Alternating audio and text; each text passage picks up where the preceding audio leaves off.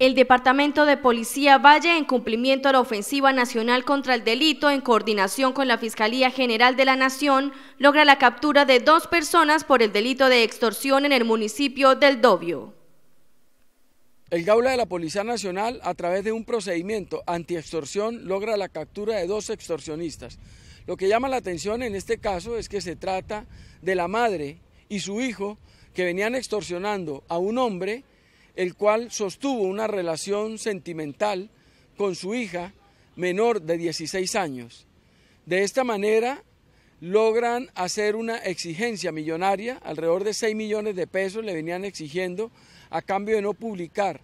videos íntimos y de no denunciarlo a las autoridades y además presentar estos videos a su esposa para dañar su relación marital.